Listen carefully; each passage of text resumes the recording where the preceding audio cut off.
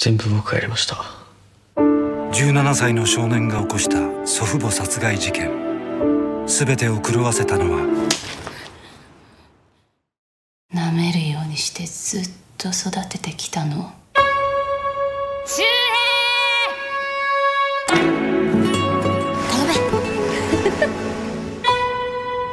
私があいつをどう育てても親の勝手じゃないですか学校行きたいんだけど。お金ないよ。あれは俺のことな。お母さんと離れて暮らすこともできるんだよ。罪を犯してまで少年が守りたかったものとは一人じゃ生きていけないですよお母さんマザーこの真相を受け止められるか